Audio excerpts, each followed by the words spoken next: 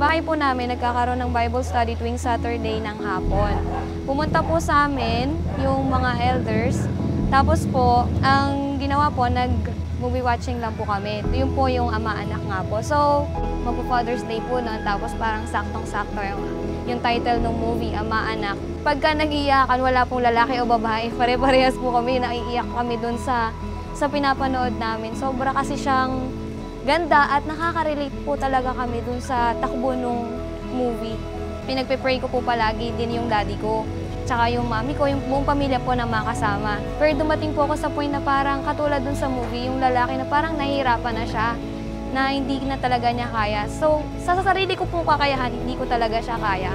Pero dahil amazing ang Panginoon, siya po ang tumulong sa pamilya namin, katulad ng nangyari. So, sobrang nakarelate po ako dun sa movie at natutuwa ako na napanood yon ng pamilya ko.